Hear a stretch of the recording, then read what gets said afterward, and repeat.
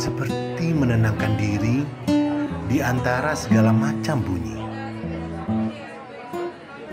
Bila kita tepat meramunya, tidak hanya pas tapi juga nikmat.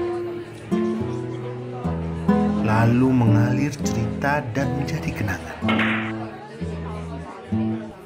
Jangan hilang semua indah, terus berbagi untuk kita bersama. Kawan.